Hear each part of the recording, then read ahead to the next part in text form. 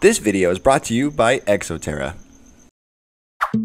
Hey, this is Cale, the Venom Manager for the Phoenix Herpetological Sanctuary, and today we are at a rattlesnake relocation training class. So we have been teaching these for over 20 years, and we teach homeowners and businesses how to safely relocate rattlesnakes out of their yards or businesses.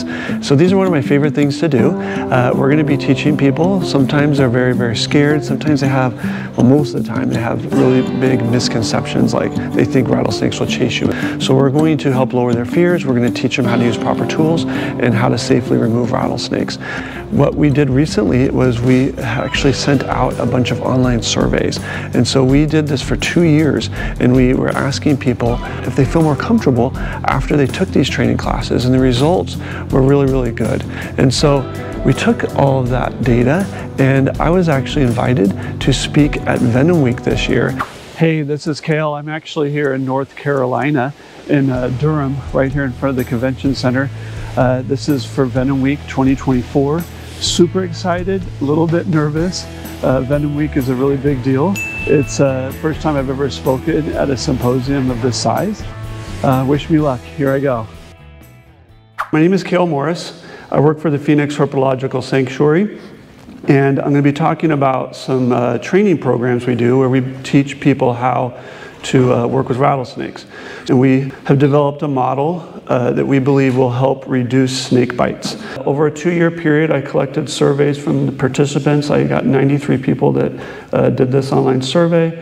I asked them uh, basically how comfortable were, were you moving rattlesnakes before you took the course and how comfortable after. 2% before were comfortable, 55% were not, uh, 21 were scared to death combining the comfortable, very comfortable ended up to 22%. So after the course, 64% felt more comfortable, 2% were not comfortable, so didn't, wasn't able to reach everybody.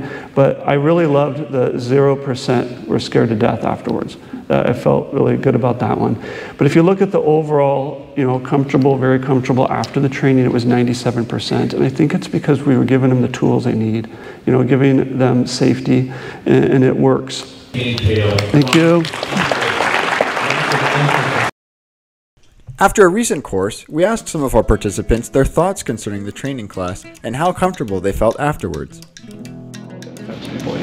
And so now that you are trained and you know how to use proper tools and stuff, uh, do you feel more comfortable working with rattlesnakes? Absolutely. So I've just moved to the Arizona area where I've encountered scorpions, rattlesnakes, all sorts of things from the desert.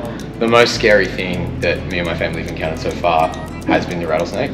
Doing this course now, I've got a completely different outlook on them. They are not aggressive. Understanding how they behave and kind of understanding how to behave around them has made me feel super comfortable going back home. Yeah, I have like all my like fears of, oh, will it jump at me and this kind of stuff. And you guys cleared that very well and made it a very comfortable environment. So as you can see, this really helps people overcome their fears and feel more comfortable doing something that is perceived as being very, very dangerous, but it, it isn't when you use proper safety tools and equipment. And so that's one of my favorite things about teaching these classes is seeing people leave happy, encouraged. They're, they're very, very positive, like, I can do this. and, and that's what really why we do it. So people can be able to remove a rattlesnake out of the yard safely and feel like they're not going to get hurt. And so I, I, just love it. This is one of the best programs I think that we teach here at the Phoenix Herpetological Sanctuary. So thanks for watching. If you enjoyed that video or like to see others like it, consider subscribing to stay tuned for more content. As always, thanks for watching.